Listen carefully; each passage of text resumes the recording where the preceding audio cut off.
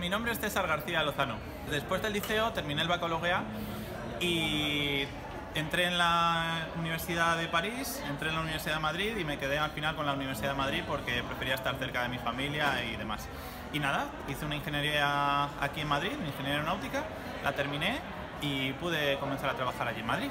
Ahora soy ingeniero aeronáutico delegado en producción en Airbus, en la empresa aeronáutica internacional. Mi mejor recuerdo del liceo francés es eh, pues los, la familia que hemos creado aquí, porque al estar tan juntos siempre, tan, tan unidos, éramos, teníamos algo en común que nos diferenciaba de los demás, pues me he llevado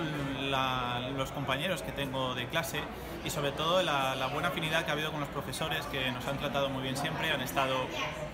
eh, encima de nosotros, se han preocupado mucho por nosotros, hemos tenido una educación muy tutelada,